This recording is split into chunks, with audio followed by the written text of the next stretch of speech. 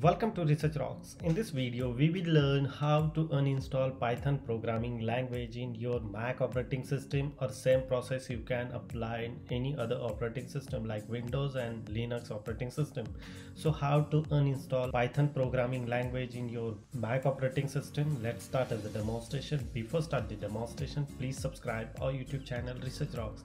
So first of all, you open your so first of all open your Finder tab and here look at this application menu is available here. And here python 3.9 i install python 3.9 but i want uninstall the python 3.9 and install 3.6 version. So that's why i am uninstall the python 3.9 so you just click on that particular folder and click the right button in your trackpad. And here move to thrash options are come. So you click here enter your password like here enter your password.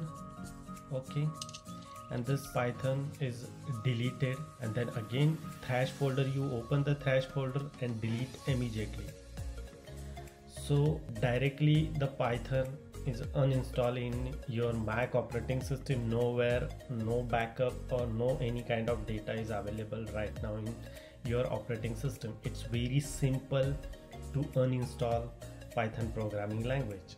Hope you like this video before leaving, please subscribe our YouTube channel and press the bell icon you don't miss upcoming videos. Till then, Jai Hind, Vande Mataram.